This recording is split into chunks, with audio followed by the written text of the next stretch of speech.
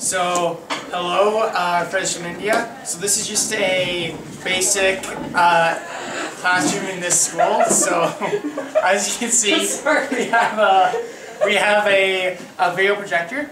We have an overhead projector. We have a TV surround sound uh, with some radios. I've been on class. and that's your student council president. Oh. Uh, we have we have several electronic uh, equipments, uh, such as computers and stuff to aid in the learning environment.